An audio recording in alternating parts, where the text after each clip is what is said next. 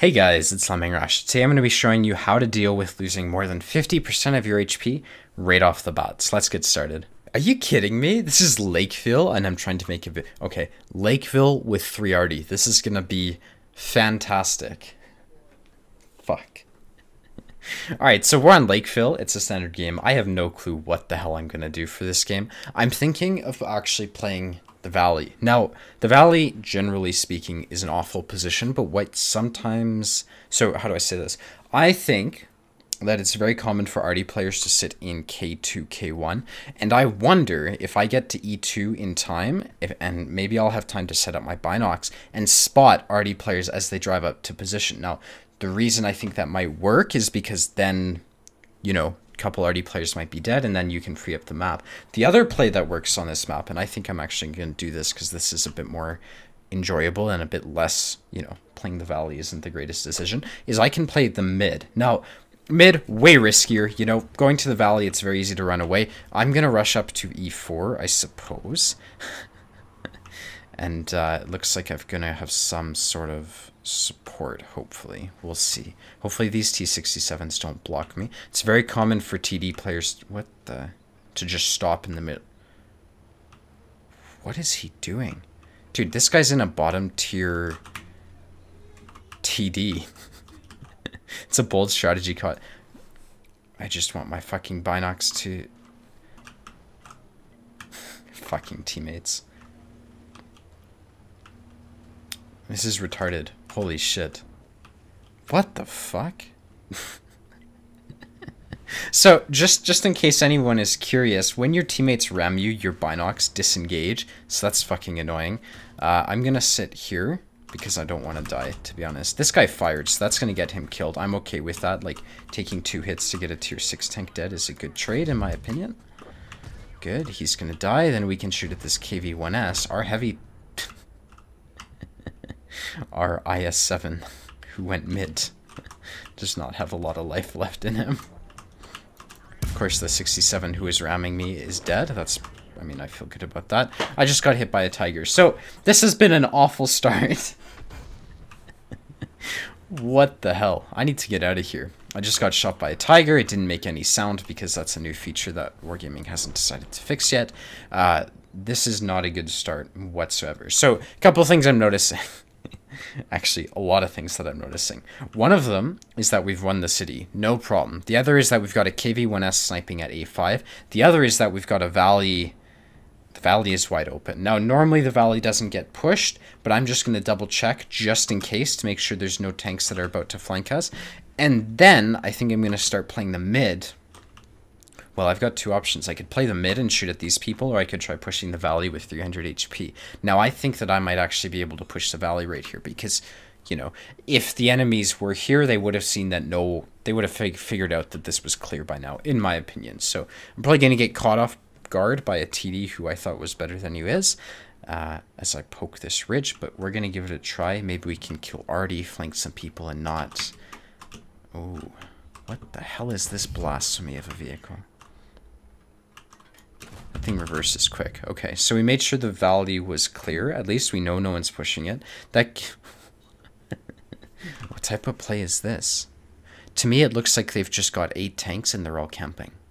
That's my read of this situation. They've got Tigers, WZs, and so on who are just sitting in base, and then all of our high tier tanks are low on HP. So I need to figure out how to break this camp, and I found myself in the valley trying to do that. So that's a great thing. Just want to see if I can have the gun depression. Now I'm going to set my binocs up. It would not surprise me if there's an arty here or here or here, you know, that I just can't see right now. So maybe when they shoot, that's possible. I'd love to push this side, but I'm not going to be able to do it with 300 HP. I do have the KV-1S who's coming behind me. How do you deal? Okay, this is what's going to happen. We're going to lose the city in multiple seconds right here. You're going to fall back. I hope he falls back because he's got all the HP on our team.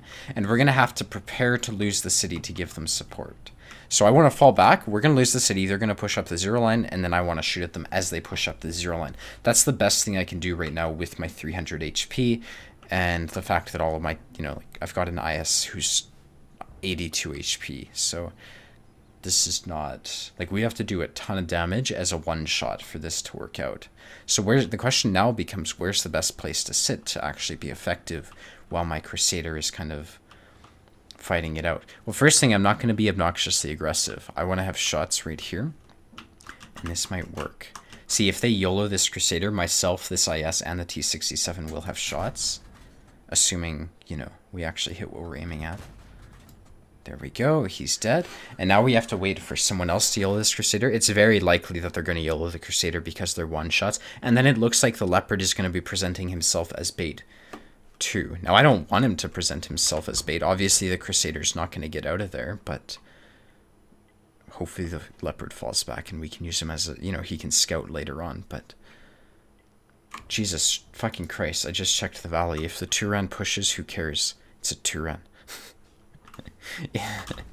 okay, so I mean, I could. The Artie's obviously worried about us getting flanked by the Turan. I'm not. I don't really care. Like, if he pushes through, we can just kill him. Uh, I'm more worried about the city, who's eventually going to be pushing into our two Artie through the zero line. So that's going to be the most pressing matter in a couple seconds here. Now, obviously, if they're pushing through the zero line and they push through the valley, that's a bad thing. So right now, this is kind of when the valley becomes relevant. I just want to make sure that's clear, and then we'll have to set ourselves up to deal with that zero line push because, I mean, I'd be surprised if someone's pushed the valley right now. They're, they haven't pushed the valley all games, so that kind of implies that they're still not going to push it until like six minutes in. You know, though my guess would be three minutes is when they'll finally push. camping team. Now this works out. What I'm going to do is I need to make sure that they don't push through the valley. So I'm going to sit here, set my binocs up, and maybe, you know, at least I'll see them here or here at like at the very least. But I mostly want shots. There you go. That's what needed to happen. That's exactly why I was sitting right there, just in case I was wrong about the regression. They did push through the valley, and now we're in a bit of an awkward situation where well, this, this KV-1S is going to get shot in the rear pretty quick here. Okay, so I'm going to sit here. That's going to create a crossfire with this IKV. If the IKV pushes up to here, I'll have side shots on him. Once he's dead, I mean, hopefully the Turan has followed him so we can kill both of them at the same. Okay, this IKV is not being... Shut the fuck up, Artie. Holy shit.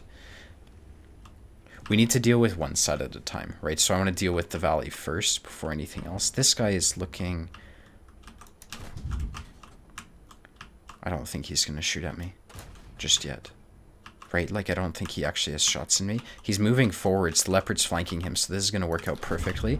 The leopard's information tells us that the Turan has not pushed the valley, and now that the valley's clear, like the leopard basically told us that the valley was clear, we're going to be able to deal with the entire zero line and this Panzer 4H, who's going to be right up here at C4 in a couple seconds. So, this is kind of where the carry becomes a bit... Uh, more difficult. I know nothing about the Turan other than it's ugly, so I'm assuming because it's ugly, it's garbage. Which actually seems to work out quite frequently in this game. See, I'm creating a crossfire right here. If this guy pushes in, the KV-1S will have shots, and so will I. Uh, the problem is that bloody Tiger. Tiger doesn't have shots. I want to see if I can kill these guys here. If I can just kill them, it might be worth taking the hit. He gave cover to that Panzer IV, which is fine. Shit. I'm now a one-shot to the Tiger because I took the hit there, right? So there's a ton there we go. looks like the Leopard gets the kill on that guy. Now the Tiger is dead. Whoa. That's how you turn a game around, man. Uh, not a lot of damage, right? But intelligent play has kind of kept me alive. Now, the next thing is not to throw it, because this WZ probably has a lot of HP.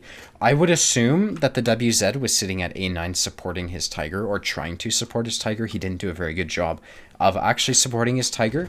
And what I would think right now is happening is that the WZ is going back to prepare himself to defend the base, because he's been camping all game, you know. His entire team didn't try to do anything aggressive whatsoever. So what I think is going to happen is my, myself... This is not the right play. Just isn't. I'll explain why in a sec here. What happens in this situation is you push in one at a time and you die. We've got a full HP KV-1S sitting behind us.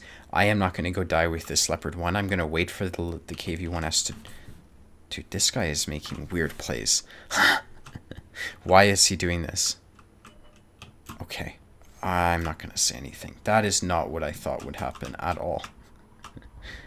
Artie is where I thought he was, though. Good. And we get the kill. So, not a... not.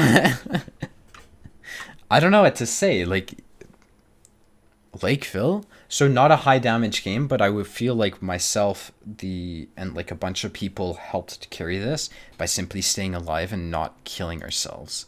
Yeah, dude, this guy did amazingly. This guy did amazingly. Fucking good job. Sometimes, how do I say it? Sometimes you have bad games that start off really bad, and the reason they become good is simply because you say, okay, this is a shitty start, and I can't do anything for the next couple minutes. And you just have to kind of accept that. And you have to read the situation and, and just try to make plays safely, you know, get safe information for your team and so on and so forth.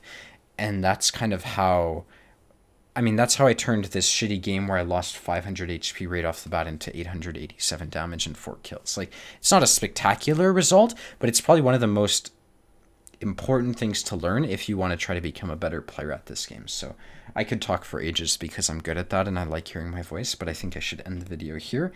Um, it's not exactly special, you know, but I thought it was really demonstrative of how to actually, like, very common to experience this type of thing in World of Tanks. So I hope it was enjoyable. If you want to see more, be sure to the like and the subscribe button, and I hope to see you around. Later, guys. Bye-bye.